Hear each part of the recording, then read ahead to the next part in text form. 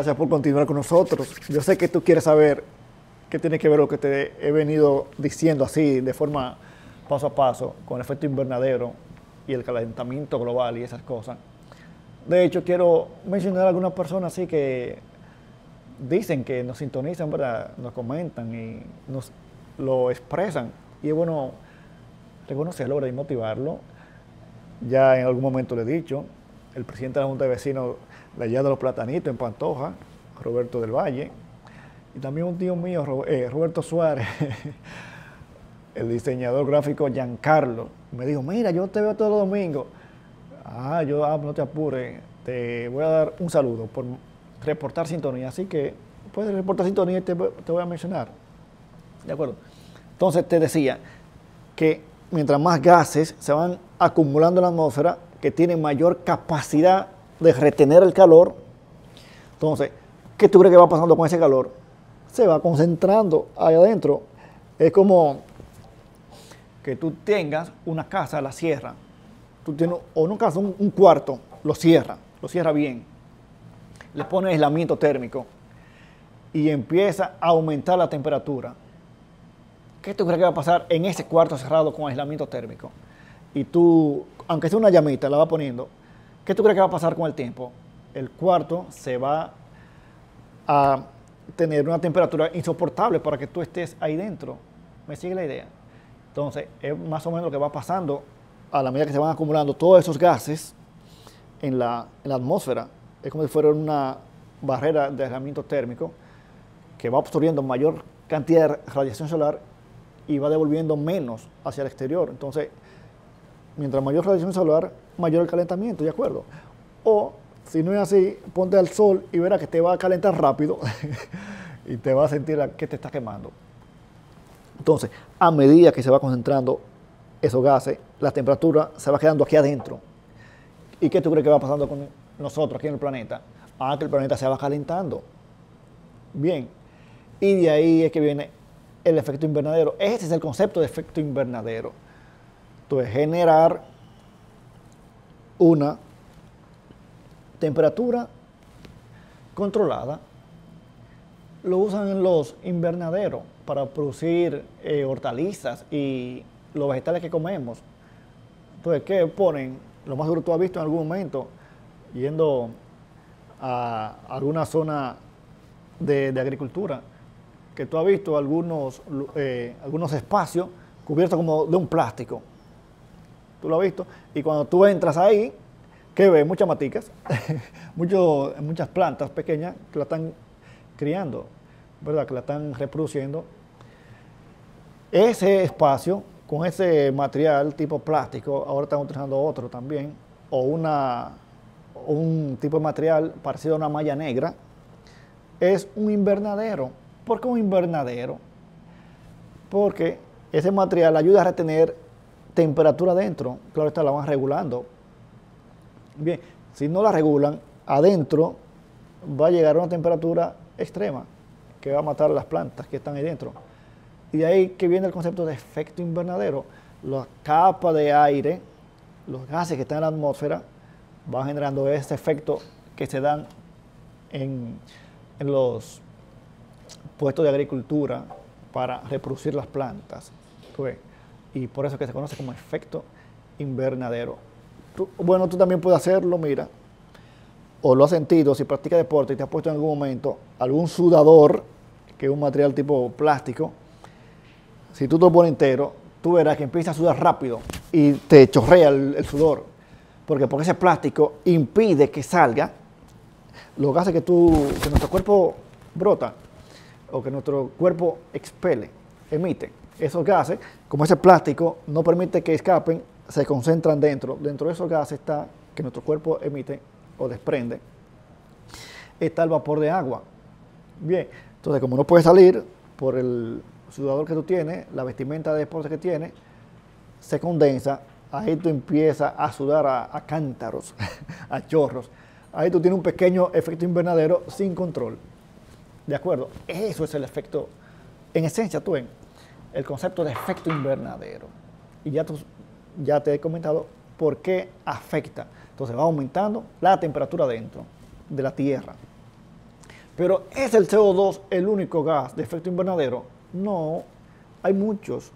Claro está, unos tienen mayor potencial de, efecto invernadero o de daño o de calentamiento que otros. Entonces, te voy a mencionar otros gases de efecto invernadero. El metano. ¿Has escuchado el metano? En algún momento sí. Te hablan en química orgánica, hay en cuarto de bachillerato, en la secundaria, del colegio, instituto, escuela. El metano, que es uno de los alcanos, el más simple de los hidrocarburos. Toda la importancia de atender a clase en la escuela.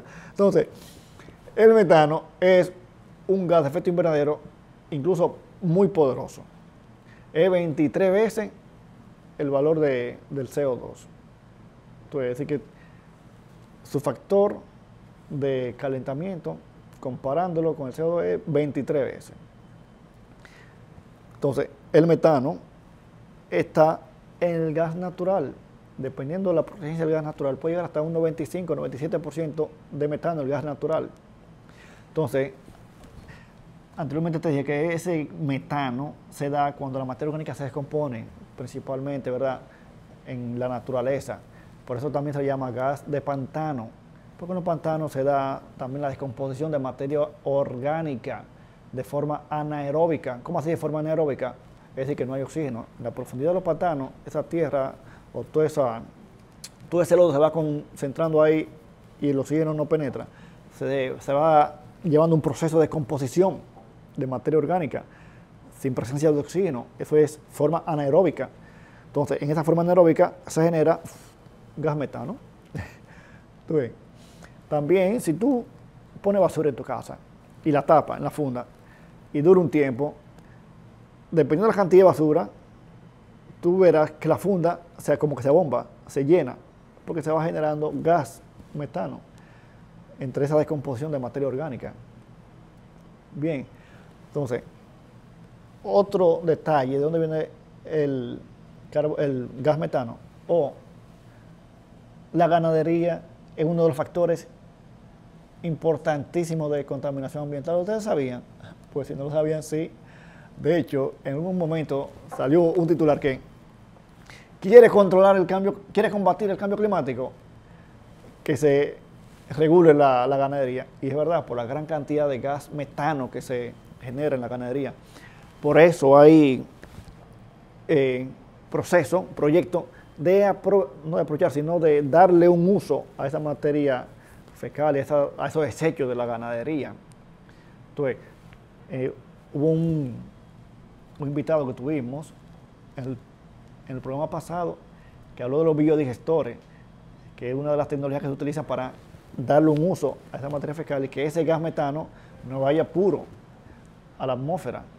Entonces ese gas metano, un biodigestor, se lleva y se aprovecha, se quema. Al quemarse se genera CO2. El CO2 es eh, un gas de efecto invernadero, sí, pero menos que el metano. Ya le dije que el metano es 23 veces más potente que el CO2. Y también está, como les comentaba, en el gas natural, ¿De acuerdo? Es decir, que los vegetarianos hacen un aporte al mundo al no comer animal y no favorecer la ganadería. Bueno, pero seguimos. Otro gas de efecto invernadero, el vapor de agua. Sí, el vapor de agua, que es agua que se evapora, eso también está en la atmósfera y es un gas de efecto invernadero. La diferencia es que lleva un ciclo que le llama el ciclo, el ciclo hidrológico. Es decir, se genera vapor de agua y llueve, cae en forma de lluvia, entonces se mantiene así. No se concentra tanto en la, en la atmósfera como el CO2, porque ya te comentaba, el CO2, un factor que está favoreciendo su concentración es que estamos talando, estamos, estamos cortando los árboles. Entonces los árboles ayudan mucho a mantener el equilibrio de, ese gas y de otros gases también. Y de mantener el suelo que no sea arena, que no sea desierto, que no se erosione. Bien. Otro gas de efecto invernadero están los freones. que son los gases o fluidos que se utilizan en la refrigeración, los freones o refrigerantes. Se han ido desarrollando refrigerantes menos agresivos al medio ambiente, pero todavía en algunos países utilizan refrigerantes agresivos que dañan y que van acumulándose y también favorecen el efecto invernadero y que son más potentes que el CO2. ¿De acuerdo? Pero mira cómo son las cosas. Eh, los aire acondicionados o los equipos de climatización también son importantes. Imagínense ustedes uno estar sin equipo de climatización. Es difícil, ¿verdad? Pero entonces en los equipos de climatización, entiéndase de forma común, aire acondicionado, pero no son los únicos.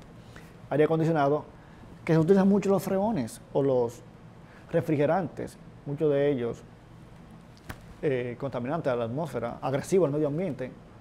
Entonces hay que se ha ido desarrollando nuevos refrigerantes, pero todavía se utilizan aquellos que, que hacen daño, que contaminan y que afectan en cuanto al efecto invernadero. Bien, primero un detalle, la climatización en los edificios, casas, oficinas, representa desde el 30 al 70% del consumo de energía eléctrica. Algo sorprendente, ¿no? En una oficina, apaga el aire. Por ejemplo, dura un mes sin aire acondicionado y tú verás cómo baja tu factura. Si no baja al 50, si no baja el 70%, por lo menos bajará al 50%, solo sin utilizar aire. ¿Qué estoy diciendo? Que no usemos aire. No, no, te estoy poniendo eso como un ejemplo para que tú veas la, el aporte, la importancia que tiene el aire acondicionado en cuanto al consumo de energía eléctrica. Sino usarlo inteligentemente, porque no es que no lo utilicen. Ah, que dice el doctor Nico que la solución es quitar los aires. No, no, no, no. Sino utilizarlo inteligentemente. Y te estoy dando un parámetro para que vea qué tan importante es en cuanto al consumo de energía el aire acondicionado. Y puede ser ejemplo para que veas. Entonces, ya que te lo mencioné, te voy a dar una forma, por lo menos una o dos, de uso inteligente del aire acondicionado. Y te sigo hablando del efecto invernadero ahora. Mira este, este equipo. Ya en algún programa lo vimos, porque mide también otro parámetro de calidad de aire interior. Bien. Entre los parámetros que me mide este equipo está la temperatura. Mírala ahí. Temperatura de bulbo seco. Temperatura del aire. ahí está marcando 20.4 centígrados o grados Celsius. Bien, es fría, por así decirlo. Entonces, en muchos lugares incluso lo ponen más bajo de ahí. Aquí en, nuestro ambiente, República Dominicana, no es ni tan saludable para el cuerpo, ni para tu bolsillo al pagar la factura eléctrica, mantenerlo tan bajo. ¿Por qué no tan saludable para el cuerpo? Porque no se recomienda, puedes consultarlo con tu médico, estar expuesto a diferentes temperaturas tan grandes en el sentido que afuera puede estar a 30 y tú aquí adentro a 20, 10 grados de diferencia. Incluso afuera puede estar a veces a 33 o a 34, 14 grados de diferencia. Por eso muchas personas viven con una gripe que no se les quita. Por esos saltos térmicos muy pronunciados, es decir, alto, diferente de 20 a 30 y de 20 a 34. Entonces, se ha comprobado, según los estudios, que una temperatura de confort es una temperatura que tú te sientes cómodo, es de, 20, de 24 a 26 en nuestro ambiente, aquí en República Dominicana. Hay lugares que pueden soportar hasta 29 grados por condiciones propias de ese lugar. Pero aquí en nuestro ambiente dominicana, los estudios favorecen una temperatura de confort de 24 a 26 grados. Incluso puedes probarlo en tu aire, en tu oficina o en tu casa. Pon la temperatura a 24, empieza por 26. Si no es muy cómodo para ti, pon a 25 y ve probando y verás que una de esas tres, 24, 25, 26, tú te vas a sentir cómodo. Y ya, mira, que no te en 20. Y cada grado es un ahorro importante se habla de un 7, un 8%. Claro, eso es principalmente para equipos de calefacción, pero se puede hacer una eh, analogía con el equipo de refrigeración. Entonces, de 8%, más o menos, no es exacto. Imagínate, de 20, si tú pusiste en 25 y te sientes cómodo, son 5 grados, 8% por 5, ahí te está ahorrando un 40% casi. ¿Me sigue la idea? Te voy a seguir dando más detalles ahora después de la pausa. Quédate ahí.